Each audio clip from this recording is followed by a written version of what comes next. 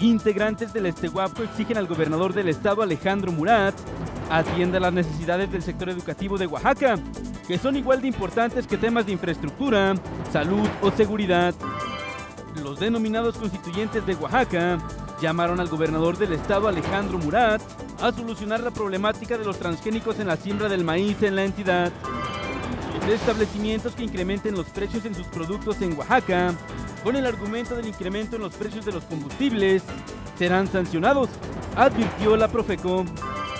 La Comisión Estatal contra las Adicciones presentó una iniciativa de ley en la materia que busca reducir el índice de accidentes por el consumo de bebidas alcohólicas.